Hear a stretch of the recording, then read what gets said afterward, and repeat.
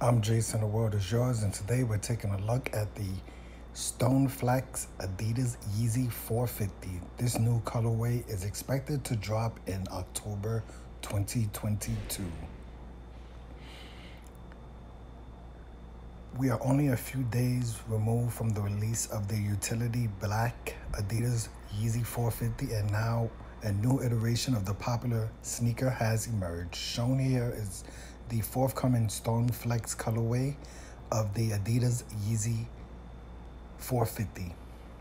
Like past styles, this pair also dons a tonal block color blocking with a light brown hue covering the entirety of the shoe the model features a one-piece prime knit upper and a spiky PU injected midsole that extends up the side.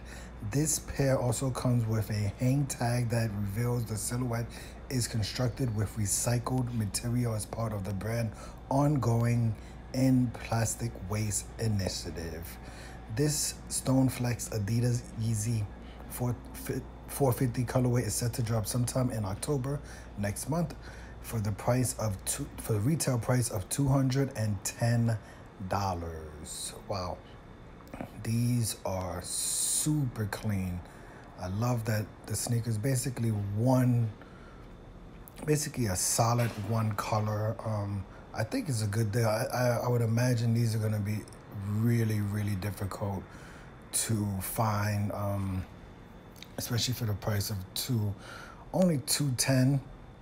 I thought they would be like at least 230, but only $210 it's definitely on a high end, but not on the highest end of uh, sneaker prices. Um, but like I said, I think these will be super hard to find. If I could get a pair, I would definitely throw down two hundred and fifty, excuse, two hundred and ten dollars for the Stone Flax Adidas Yeezy 450. Um, I am Jason. The world is yours. Today we were taking a look at the Adidas Yeezy 450 Stone Flax colorway.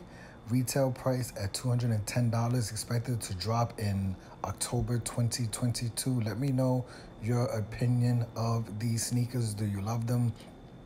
Um, would you throw $210 down for these sneakers or would you pass? Thank you for watching.